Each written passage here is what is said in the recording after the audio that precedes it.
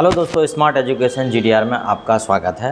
I am H R Kushwaha higher secondary school teacher I am going to explain your lesson first flight मेरी पहली उड़ान, ये first flight lesson है और आज मैं इसको एक्सप्लेन करने जा रहा हूँ। इसके पहले हमने इसको पूरा पढ़ लिया है, पूरा टेक्स्ट समझ लिया है। अब इसके क्वेश्चन आंसर एक्सप्लेनेशन है। तो आप इनको बड़े ध्यान से देख लीजिएगा ताकि परीक्षा में आसानी हो। बहुत ही सरल तरीके से, बहुत छोटे छोटे आंसर बनाने की मैंने कोशिश की है, ताकि आपको बिल्कुल भी डिफ़िकल्टीज ना हो। आइए अपन समय बर्बाद ना करते हुए जल्दी से कर लेते हैं, ठीक है? हिज फ़र्स्ट फ़्लाइट जैसा कि नाम से स्पष्ट है हिज फ़र्स्ट फ़्लाइट लाइम ऑफ़ फ्ले ठीक है? ये इसके लेखक हैं, ये भी अपन को पता होना चाहिए। अब फ़र्स्ट फ़्लाइट भाई, किसकी फ़र्स्ट फ़्लाइट है? Two stories about flying lesson से लिया गया है, जिसमें दो थी, एक थी फ़र्स्ट फ़्लाइट और दूसरा था ब्लैक एरोप्लेन दोनों उड़ान से संबंधित हैं। तो यहाँ पे ये जो पक्षी है, इस, ये इसको बोलते हैं सीगुल, ठीक है? इसको सीगुल बोलते हैं और इसका नाम रखा था उन्होंने श्रीली। इसका श्रीली नाम रख दिया था, मान लो परीक्षा में आ जाएगा, उसका क्या नाम था तो अपन बता देंगे उसका नाम। श्रीली था। और दूसरे नंबर पर यह है, एक एरोप्लेन की उड़ान है, ठीक है? इस ओल्ड ये एरोप्लेन है, ये पुराना इसका नाम है ओल्ड डकोटा। ये डकोटा एरोप्लेन है। तो ये टू स्टोरीज अबाउट फ्लाइंग दो स्टोरीज है। तो हम दोनों के क्वेश्चन आंसर कर लेते हैं। पहले एक के करेंगे, फिर दूसरे के करेंगे। ये समरी दी हुई है, ठीक है? और समरी के बाद अब हम करते हैं क्वेश्चन आंसर ठीक है? समरी चूँकि मैंने जब पूरा समझा दिया है तो समरी की आवश्यकता नहीं है, ठीक है? अब यहाँ से देखते हैं। Why was the young seagull afraid to fly जो यंग सीगुल थी, वो उड़ने से क्यों डर रही थी? Do you think all young birds are afraid to make their first flight क्या आपको लगता है कि सारे पक्षी अपनी पहली उड़ान भरने में डरते हैं?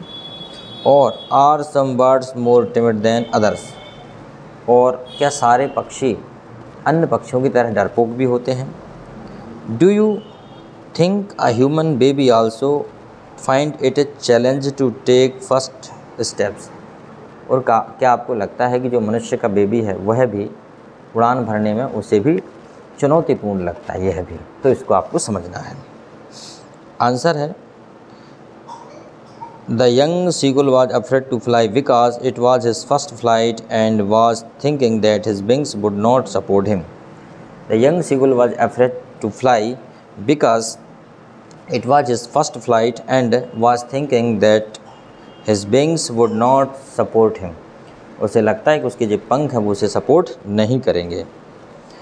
I think all young birds are little afraid before taking their first flight मुझे लगता है कि सारे जो यंग वर्ड्स होते हैं जो अपनी पहली फ़्लाइट करते हैं तो उन्हें सभी को डर तो लगता ही लगता है। फिर अगला है मतलब इसी का है yes Just like young birds, human babies also find it little difficult while talking their first step for anything. इसी प्रकार मनुष्यों के जो बच्चे होते हैं, वह भी जब अपनी पहला कदम बढ़ाते हैं कोई भी काम करने के लिए तो उन्हें भी डर लगता है। वो भी नर्वस होते हैं, उन्हें भी डर लगता है। ये इस लेसन में है। क्वेश्चन नंबर टू है the sight of the food maddened him what does this suggest जो भोजन का साइड है मतलब भोजन की जो साइट है मतलब वो दृश्य है भोजन का, जहाँ उसकी माँ मछली को चीर फाड़ करके भोजन कर रही है। उस प्रकार का दृश्य उसे किस प्रकार पागल बना रहा है? What compelled the young seagull to finally fly ऐसी कौन सी चीज़ है जिसने जो यंग सीगुल है उसको मजबूर कर दिया अंततः उड़ने के लिए? ऐसी कौन सी बात है जिसने यंग सीगुल को अंततः उड़ने के लिए विवश कर दिया या मजबूर कर दिया? तो अपन देखते हैं भाई, वो कौन सी चीज़ है है ना? तो देखो। The young seagull was hesitant to fly and acting like a coward ठीक है? Young seagull was afraid to fly and acting like a coward वो डरबुक की तरह एक्टिंग कर रही थी, कर रहा था। His family left him alone to starve as they wanted to teach him to get his own food उसके परिवार ने उसे अकेला छोड़ दिया, यह बताने के लिए कि भाई, वह अपना भोजन खुद लेगी। सेंस ही वॉज़ स्टारबिंग जब से वह भूखा मरने लगा he got so maddened by the sight of the food which compelled him to finally fly और जब उसे अकेला छोड़ दिया तो वह अपना, जब वह भूख से तड़पने लगा और जब उसकी माँ मछली खा रही थी तो इस साइट ने, उस दृश्य ने उसे पागल बना दिया और उस वजह से वह अंततः उड़ने के लिए विवश हो गया। इस दृश्य ने उसे उड़ने के लिए मजबूर कर दिया। ठीक है? एक बार हम फटाफट पढ़ दे रहे हैं। इसका भी स्क्रीन शॉट लेकर लिख लीजिए। The young seagull was hesitant to fly and acting like a coward is a family left him alone to starve as they wanted to teach him to get his own food since he was starving he got so mandate by the sight of the food, which compelled him to finally fly. Question number next है। Question number three है। They were beckoning to him they were beckoning to him calling shrilly why didn't why did the seagull father and mother threaten him and cajole him to fly मतलब they were beckoning to him वो क्यों उस पर ताना मार रहे थे? यहाँ वहाँ की बातें कर रहे थे उसके बारे में। और वो क्यों बुला रहे थे? Shrilly why didn't the seagull father and mother threaten him and cajole him to fly why did the seagull's father मतलब सीगुल के माताजी और पिताजी ने क्यों उसे बुलाया और उसे धमकाया उड़ने के लिए और उसकी प्रशंसा भी की उड़ने के लिए? ऐसा क्यों किया उन्होंने? ठीक है? The young seagull was scared of his first flight he could not gather courage to fly the young seagull was scared of his first flight. He could not gather courage to fly. The seagull's father and mother taunted him and the threatened him. Seagulls के माता पिता ने उसे डांटा, comments pass किए let it starve if he did not try और वो उन्होंने कहा कि, भूखे मरोगे अगर तुमने उड़ना प्रारंभ नहीं किया। They knew if he did not fly he would starve to death वो जानते थे कि अगर उसने उड़ना नहीं शुरू किया तो वह भूख से मर जाएगी। They did all this because they wanted him to live और उन्होंने ये इसलिए किया क्योंकि वह उसे जीवित रखना चाहते थे। ठीक है? तो एक बार और उसे पढ़ते पढ़ लेते हैं।